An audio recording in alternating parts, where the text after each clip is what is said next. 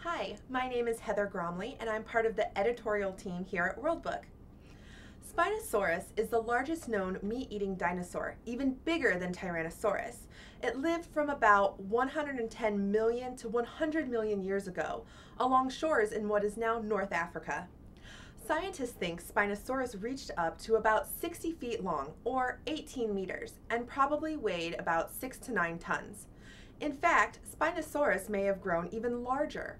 Scientists have recovered relatively few fossils of Spinosaurus, and one of the very first fossils of the dinosaur was destroyed by Allied bombers in World War II.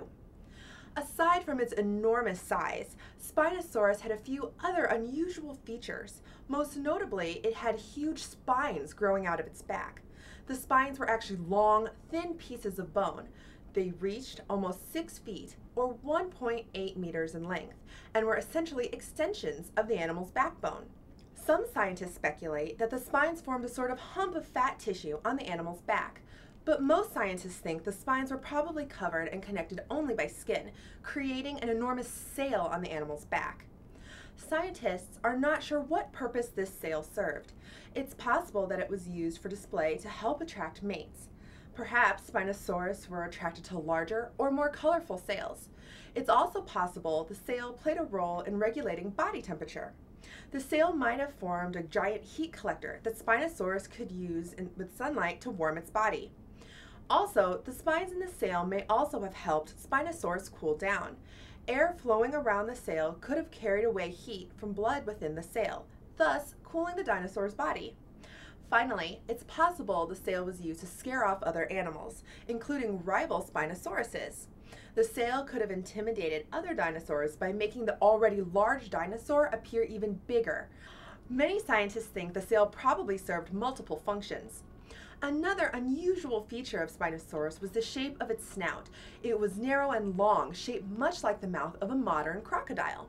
Its mouth was also full of sharp teeth that fit together similarly to the way a crocodile's do.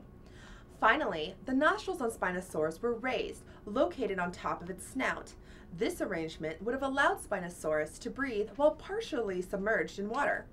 All these features, along with Spinosaurus's North African shoreline habitat, suggest that Spinosaurus led at least a partly aquatic lifestyle.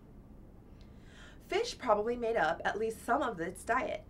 While scientists do not have direct evidence that Spinosaurus hunted aquatic prey, they have found fish fossils in the stomach contents of a dinosaur closely related to Spinosaurus, one which lived in a similar environment.